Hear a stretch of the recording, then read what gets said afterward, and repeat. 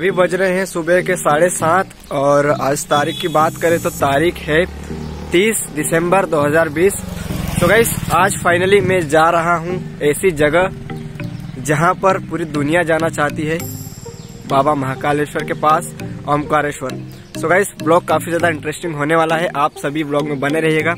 And अभी फ़िलहाल तो मैं अपने गाँव में हूँ। यहाँ से जाएँगे ओमकारेश्वर और वहाँ का टूर आपको दिखाएँगे। लगभग यहाँ से है 110 किलोमीटर। सो, पूरा ब्लॉग देखना, आपको मज़ा आने वाला है। तो फाइनली गाइज़ अभी हम हैं धामनोद में एंड आफ्टर ऑल 38 किलोमीटर हमने अभी ट्रेवल किया है विद बाय बस एंड यहाँ से अब लगभग 60 से 70 किलोमीटर होगा ओमकारेश्वर पूरा ब्लॉग देखना, आपको बहुत ज़्यादा मज़ा आने वाला है। गाइस अभी तो फिर हम धामनोद में हैं एंड हम अभी ट्रेवल कर चुके हैं 40 किलोमीटर। ओके तो स्टे ट्यून आपको बहुत ज़्यादा मज़ा आने वाला है। तो अब गाइस फाइनली हम आए हैं सनावद में और हम जाएँगे टेंपो में क्रॉसिंग की वजह से। गैस वो जो बस थी, वो डायरेक्ट ओमकारेश्वर नहीं थी। हमको दो तीन बसें चेंजेस करना पड़ी थी। अब फाइनली हम सनावद से इस टेंपो में जाएँगे ओंकारेश्वर यहाँ से ज़्यादा दूर नहीं है, वैसे दो तीन चार किलोमीटर है। सो अब मिलते हैं हम डायरेक्ट ओमकारेश्वर में। सो गाइस फाइनली अभी हम आ चुके हैं ओमकारेश्वर में और हमने लगभग ट्रेवल किया 120 किलोमीटर और 120 किलोमीटर ट्रेवल करने के बाद में हम आ चुके हैं ओमकारेश्वर में। अब जाते हैं इस रास्ते से अंदर की ओर और, और वहाँ का हम आपको दिखाते हैं। तो एक चीज़ आपके सस्पेंस में थी मेरे साथ है मेरा छोटा भाई कुलदीप धनारे। भाई तो इसके साथ में मैं आया हूँ। तो चलिए घूमते हैं और पूरा ब्लॉग कंटिन्यू करना। तो कुलदीप को लेना है अभी टोपा, क्योंकि ठंड बहुत ज़्यादा लगी हमको अभी आने में। तो ये देखते हैं कि कितने में क्या इसको टोपा मिलता है। कितने का बस फाइनली टोपा वोपा खरीद लिया है कुलदीप ने।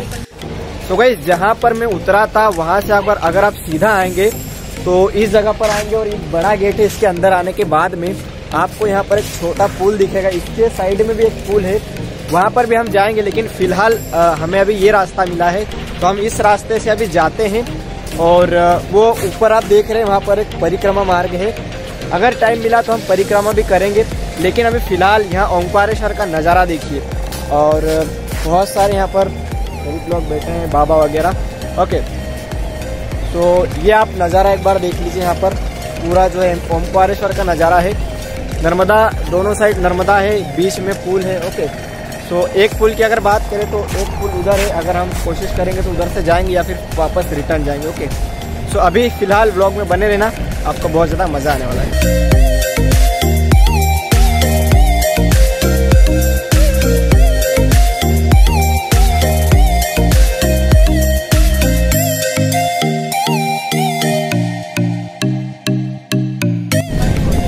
गाइस ओमकारेश्वर के अंदर सबसे मेन चीज़ है परिक्रमा। अगर आप परिक्रमा करते हैं तो आपको बहुत अच्छा लगता है। एंड परिक्रमा करने का रास्ता मैं आपको दिखाता हूँ। और हम पूरा परिक्रमा करने वाले हैं। लगभग मैंने पूछा तो शायद उन्होंने बताया कि पाँच छः के लगभग थे। तो यहाँ से हम परिक्रमा करने वाले हैं, नीचे से, ओके। और वहाँ से पूरा घूमने के बाद में वो महाकालेश्वर की जो ऊपर मूर्ति दिख रही है आपको, वहाँ पर मैं आपको लेकर के चलूँगा। और फिर हम आपको दर्शन करवाएँगे। बाबा भोलेनाथ के। अभी गई कुछ इस तरीके का व्यू है ओमकारेश्वर का और उधर वहाँ पर भी एक पुल है। ओके और ये हम अभी फ़िलहाल इस वाले पुल पर खड़े हैं। नीचे नर्मदा जी है। देखिए आप दर्शन कर लीजिए। तो गाइस अभी हम जा रहे हैं परिक्रमा की ओर और, और मैंने अभी बात की भैया से तो उन्होंने ये कहा है कि लगभग 11 किलोमीटर की परिक्रमा है। अगर आप ओमकारेश्वर आते हो तो लगभग आपको 11 किलोमीटर की परिक्रमा करना पड़ती है। और यहाँ से ये रास्ता जाता है परिक्रमा की ओर। तो गाइस फाइनली ये रास्ता जाता है परिक्रमा की ओर। और, और जो मैंने आपको पुल दिखा है उस पुल से आपको नीचे आना पड़ता है। और फाइनली ये रास्ता जाता है परिक्रमा की ओर। और यहाँ से गाइस लगभग 11 किलोमीटर की परिक्रमा है। जिसको आप फैमिली के साथ अगर घूमते हो तो गाइस बहुत ज़्यादा मज़ा आता है। तो गैस कुछ इस तरीके का रास्ता है परिक्रमा की ओर जाने का। तो आगे देखते हैं क्या कुछ होता है।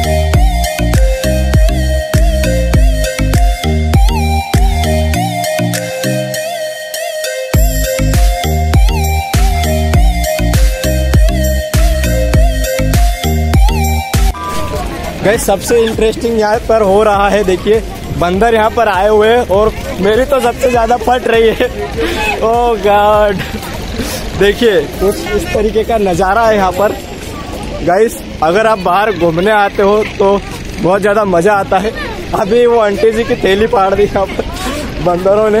ओके सो गाइस ये रास्ता जाता है परिक्रमा की ओर।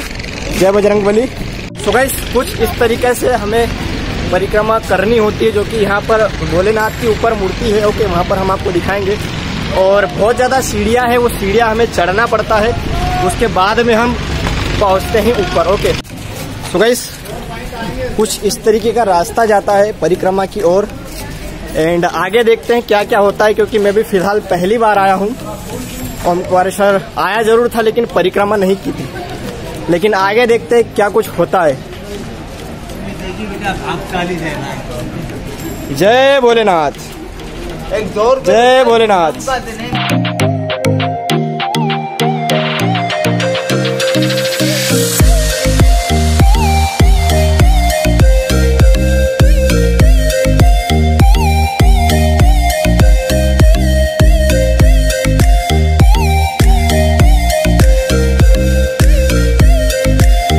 गैस, अभी तो खैर पता नहीं कि कितना हमने चल लिया है, लेकिन जितना भी चले हैं हम, फ़िलहाल थकने जैसी कंडीशन हो गई है, लेकिन फिर भी हम जाएँगे ऊपर और पूरी परिक्रमा करके ही आएँगे। यात्रा हमने पूरी कर ली है। अब आगे कितना और चलना है बेसिकली मुझे भी नहीं पता है, लेकिन आपको ब्लॉग के अंदर बने रहना है गाइस क्योंकि आप अगर महाकाल बाबा के दर्शन करना चाहते हैं तो वो हम लास्ट में कराएँगे, फ़िलहाल तो अभी हम परिक्रमा करते हैं। तो चलिए, शुरू करते हैं। कुछ इस तरीके का सीन है यहाँ पर। परिक्रमा करते टाइम यहाँ पर सीढ़ियाँ वगैरह भी आती है।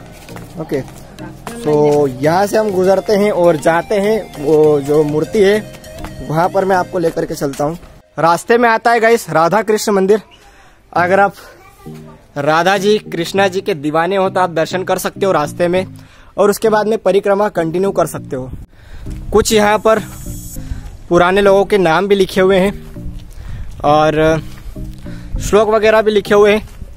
नाश हो गया है सब पाप, जिन्हें तथा ज्ञान करने की वृत्ति थी, जो कुछ भी है यहाँ पर लिखा हुआ है। फाइनली बहुत ज़्यादा थके हैं एंड थकने के बाद में हम अब लेंगे गन्ने का रस। वो इसलिए गए क्योंकि थोड़ी सी हमें एनर्जी चाहिए। चेयर एनर्जी के लिए बहुत ज़्यादा ज़रूरी है पानी वगैरह। ओके सो पानी तो हमने बेसिकली पी लिया था, लेकिन यहाँ पर गन्ने की रस की दुकान दुखी दिखी हमको। सो हम गन्ने का रस पीते हैं, उसके बाद में कंटिन्यू करते हैं।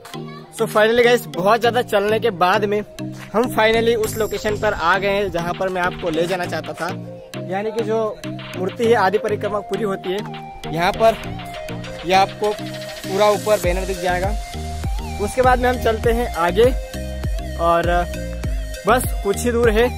फिर उसके बाद में हमें जो भोलेनाथ की मूर्ति है, वो आपको दिखाएँगे, वहाँ का सीन दिखाएँगे, वहाँ की भीड़ दिखाएँगे। क्या कुछ है आगे चलिए देखते हैं। गैस ये है गौरी सोमनाथ मंदिर, जो कि इधर ऊपर है। अगर आप जाना चाहो तो जा सकते हो।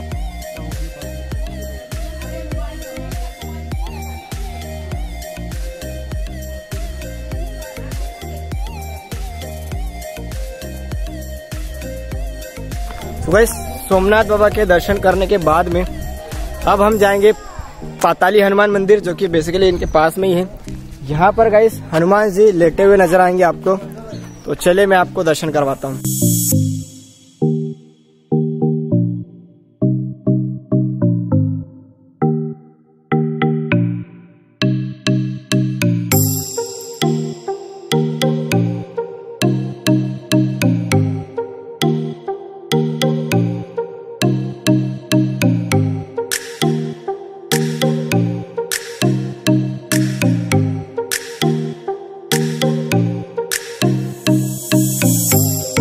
पंडित जी यहाँ का क्या इतिहास है जो लेटे हुए Hanuman ji?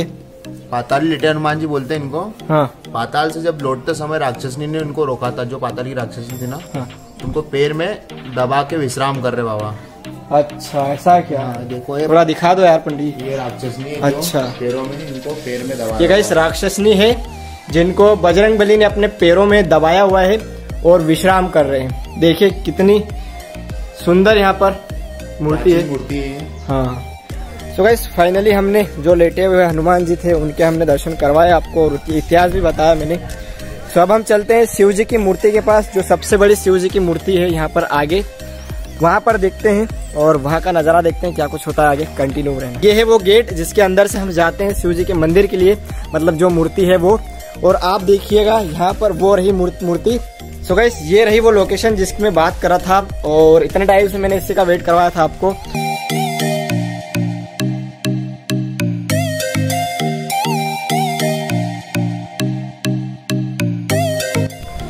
So guys finally ये था शिव जी की मूर्ति जिसके मैंने आपको दर्शन करवा दिए हैं। अब आगे चलते हैं तीन किलोमीटर और, जिसके बाद में हमारी यात्रा पूरी कंप्लीट होगी।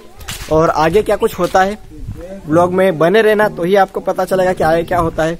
क्योंकि फ़िलहाल की कंडीशन में मुझे भी नहीं पता है कि आगे क्या होने वाला है। लेकिन जो कुछ भी होने वाला है इंटरेस्टिंग होने वाला है। आगे हम जो दूसरा पुल है, वो आपको दिखाने वाले हैं। साथ में अगर पॉसिबल हुआ कैमरा अलाउ हुआ तो जो वहाँ पर जो शिवलिंग है, उसके भी आपको दर्शन कराऊँगा, कोशिश ज़रूर करूँगा। लेकिन अभी चलते हैं, यात्रा कंप्लीट करते हैं। आगे का सीन आपको दिखाता हूँ।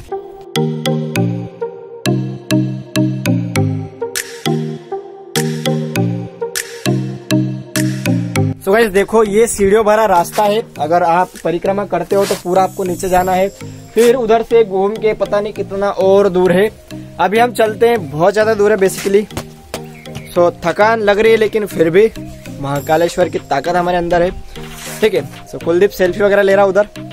चलिए, चलते हैं। लाइक वाइक ठोक देना यार, अपने परिवार के साथ में शेयर कीजिए वीडियो को। अच्छी वीडियो कोई गलत वीडियो नहीं है। ठीक है? आगे चलते हैं और कंटिन्यू ज़रूर देखना आखिरी तक। चाँद सूरज द्वार, जिसको बोलते हैं, यहाँ पर लिखा हुआ है, चाँद सूरज द्वार। ये देखिएगा। और, इसके अंदर से जाते हैं आगे। चल कुलदीप। चलिए, ये है चाँद सूरज द्वार। कुछ इस प्रकार का है। चाँद, सूरज, द्वार। टीका चंदन करवा लो।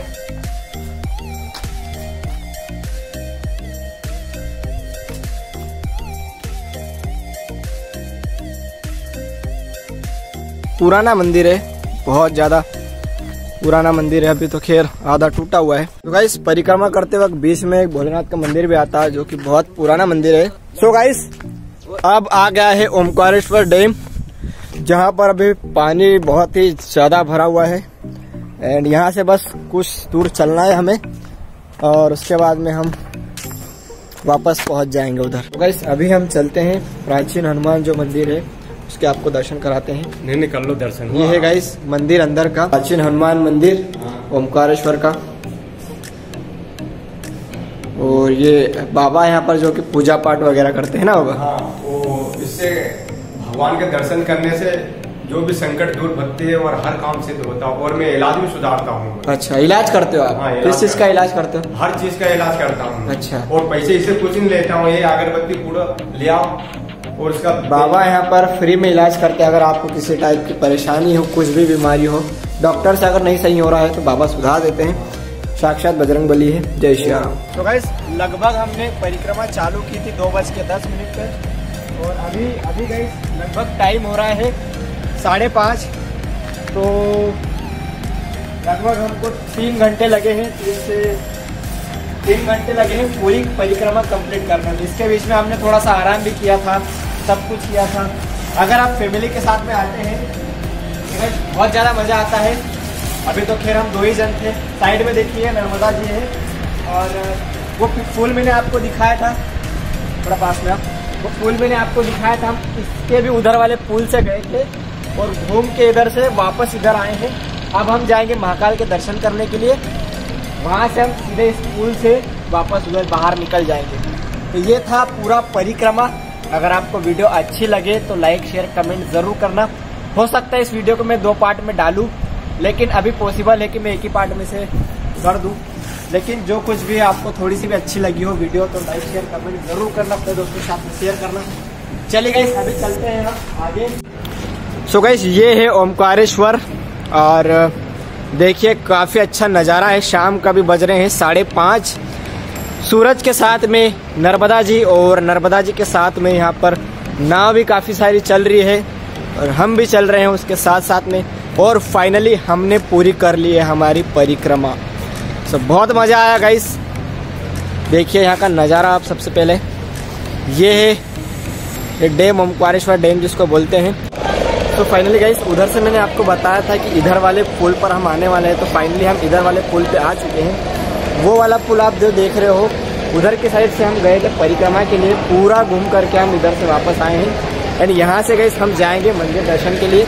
अगर पॉसिबल हुआ कैमरा अलाउ हुआ तो मैं आपको दर्शन करवा सकता हूँ। अदरवाइज़ पॉसिबल नहीं है, क्योंकि नियम का पालन करना पड़ता है। जैसे भी पॉसिबल होगा, मैं आपको दिखाने वाला हूँ। तो फाइनली गाइस जो पूजा पाठ का जो सामान है, वो हमने ले लिया है। अब हम जा रहे हैं महाकालेश्वर, जो भगवान है, वहाँ उनके दर्शन के लिए।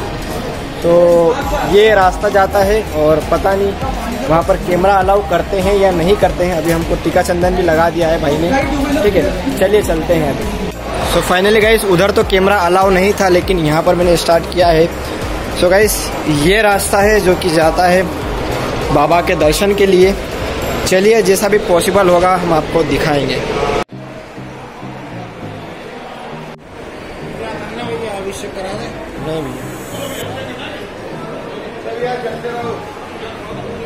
तो गैस ये मंदिर है बाबा भोलेनाथ का।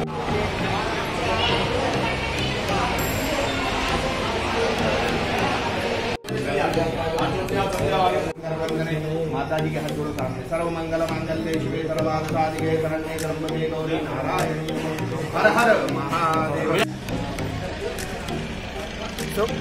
तो गैस फाइनली यहाँ पर होता है हमारा ब्लॉग कंप्लीट हमने आपको दिखाया सुबह से निकले थे सात बजे समथिंग और उसके बाद में पूरी परिक्रमा की, रास्ते में क्या कुछ हुआ वो मैंने आपको दिखाया। उसके बाद में परिक्रमा करने के बाद में मैंने आपको महाकाल के दर्शन भी करवा दिए पॉसिबल है ठीक है? कोशिश करी मैंने ओके, और आपको दर्शन करवा दिए। तो ये था हमारा ओमकारेश्वर का ब्लॉग। अगर आपको सच में पसंद आया तो प्लीज़ इस वीडियो को लाइक कीजिए शेयर कीजिए कमेंट कीजिए, कैसा लगा। और ज़रूर शेयर शेयर करना अपने फैमिली मेंबर्स के साथ में। और आप अगर जब भी आओ ओंकारेश्वर तो मुझे एक बार कॉल या मैसेज करना, मैं भी आपके साथ फिर से आने वाला हूँ। ओके तो चलिए गाइस मिलते हैं अगली वीडियो में। और आपको लगे तो मुझे इंस्टाग्राम पर फॉलो कर लेना, पिछली वीडियो देखना मेरी। आई होप मुझे लगता है कि आपको ज़रूर से पसंद आएगी मेरी पिछली वीडियोज़ भी। तो ज़रूर से सपोर्ट करना। चलिए गाइस मिलते हैं नेक्स्ट वीडियो में। तब तक के लिए खुश रहिए और दूसरों को भी खुश रहिए टाटा बाय बाय मिलते हैं नेक्स्ट ब्लॉग ओके